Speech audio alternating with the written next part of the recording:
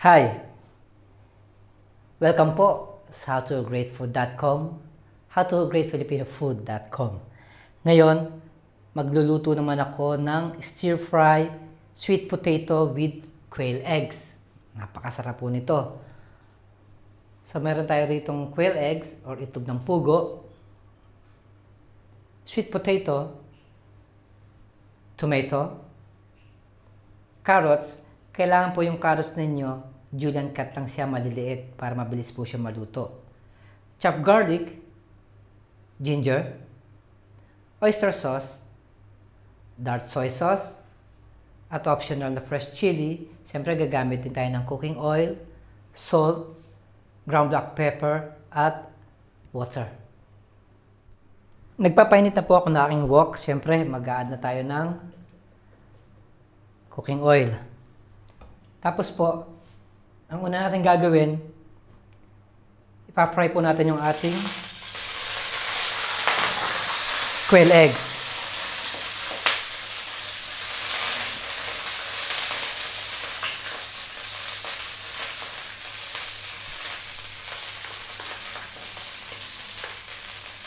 So, lulutuin ko lang siya sandali.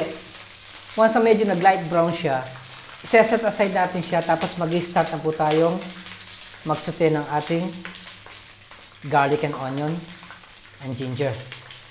Kailangan lamang po medyo ipiprito natin yung ating quail eggs. Okay na po yung ating quail eggs. Hanguin ko na siya.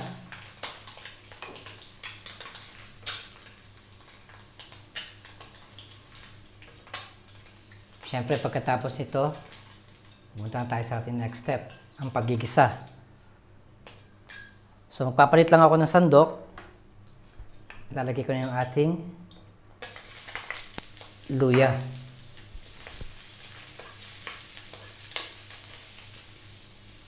I-add ko na rin yung ating chopped garlic. So, hintayin lang natin siya mag-brown bago tayo mag-add ng ating onion. So, ayan po. Medyo toasted na yung ating ginger at garlic. Onion naman. At isasabay na rin po natin yung ating tomato.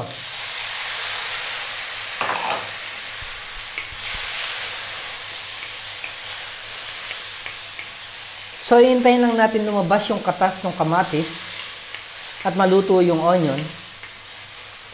Tapos po, i-add na po natin yung ating sweet potato at ang iba pang mga ingredients.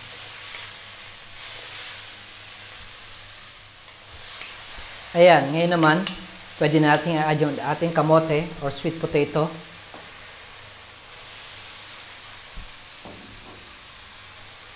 At mag-add tayo ng pampalasa ang ating dark soy sauce.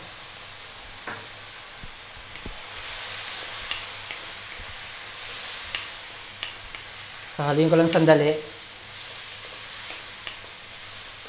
At this point, mag-a-add na tayo ng konting tubig para totaling lumambot yung ating sweet potato.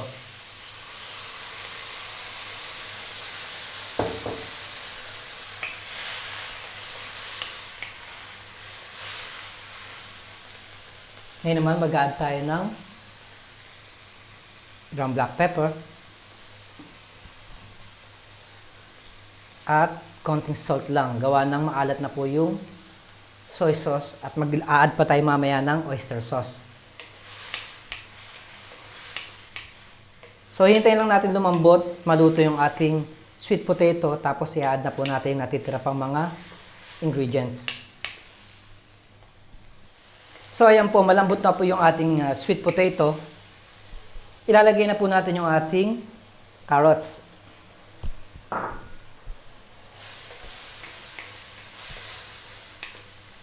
Kagaya ng sinabi ko kanina, kailangan yung cut ng inyong carrots maliliit lang para mabilis po siya maluto.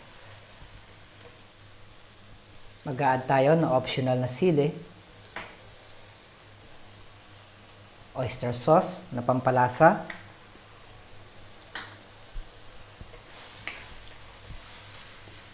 Haluin ko lang sandali bago tayo mag-add ng ating piniritong quail eggs. So, pwede na natin siyang ilagay.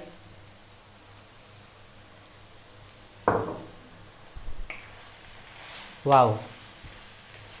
Napakasarap po nito. Stir fry sweet potato with quail eggs. So, lulutuin ko lang siya siguro ng mga 2 minutes. Tapos po, ready na po siya for plating.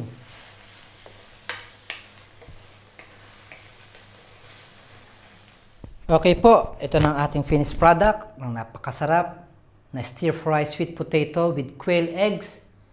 Muli, marami pong salamat sa panonood ng howtogreatfood.com, howtogreatfilipinofood.com. Mabuhay!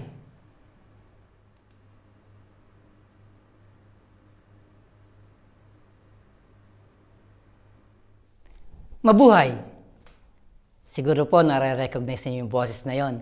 Ako nga po pala si June, yung voice behind sa howtogreatfilipinofood.com. Maraming salamat po sa pagsubaybay sa aking mga followers, subscribers sa aming channel. Dati po, naalala ko pa, sabi ng boss ko, maka 1 million views lang kami, hahalikan niya raw ako. Pero ngayon, nasa 100 million views na po kami. Kaya napakasayo po namin ng aking boss dahil uh, na-reach namin yung 100 million views. Kaya nagpapasalamat po ako sa inyo, sa aming mga viewers, sa mga nagko-comments, good or bad comments, okay lang po yun, natural lang po yun. Kaya sana po, tuloy-tuloy po ang pagsubaybay ninyo sa aming channel, sa howtogreatfood.com, howtogreatfilipinofood.com. Napakatagal na panahon na namin ginagawa ito I think mga 7 years na. Pero continuous lang, consistency lang, ika nga. Kaya na-reach namin tong 100 million views. Kaya papasalamat ako sa inyo. Sana walang bibitaw at mabuhay.